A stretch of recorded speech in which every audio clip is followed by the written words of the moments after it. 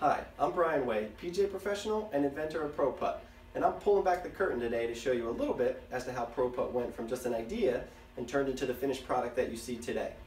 Alright, so I've had the idea for a while, but earlier this year I decided to try to make a workable model. That way I could use it for teaching and I could start to get some feedback. So I went to my local hardware store, got some PVC pipe, a nut and a bolt, some glue, some padding, and I started to build a model that I could use while I'm teaching and also while I'm practicing. So I'll show you how the model turned out keep in mind, not the most appealing thing to look at, but certainly got the job done. All right, so I made the ends out of PVC pipe, glued a nut and a bolt in the middle, that way you can adjust it. Added some pipe insulation on the end for grip and for padding. And then I used these clips that cable companies use when they're running cable. That way you can attach the alignment rod, get that visual feedback when you're out there using it. So again, not the prettiest thing to look at, certainly functional enough, and it gave me enough feedback that I could move on and try to make another model. So I met with a guy named Brian Walt. He has a 3D printing company. You can follow him at Walt3D on Facebook and on Instagram. Definitely check out his page. He does some pretty cool stuff with 3D printing. And that's how we did the next model.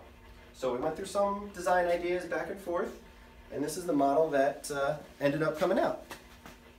So again, 3D printed model, pretty cool. Rubber on the inside for grip, adjustability with the nut and the bolt, alignment rod attachment there,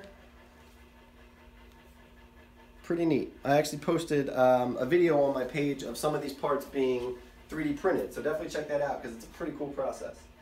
Alright, so we tested that out for a while. I want to make sure everything worked properly.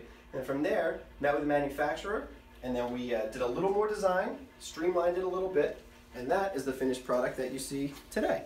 So, a lot thinner, all right, we beefed up the padding on the end there. Definitely uh, helps for long putting sessions, that kind of stuff. It's going to give you a lot of grip, a lot of comfort there tucked away the bolt on the inside, that way you can't see it.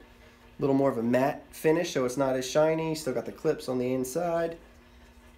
But there you go, pretty thin, pretty sleek, really easy to use, really compact, fits in the side of your golf bag nicely so you can take it with you. And that's it. That's kind of a quick tutorial as to how I went from concept to finished product. Hopefully you guys enjoyed it. And I'll give you a little view here of all three side by side. That way you can take a look and see start to finish.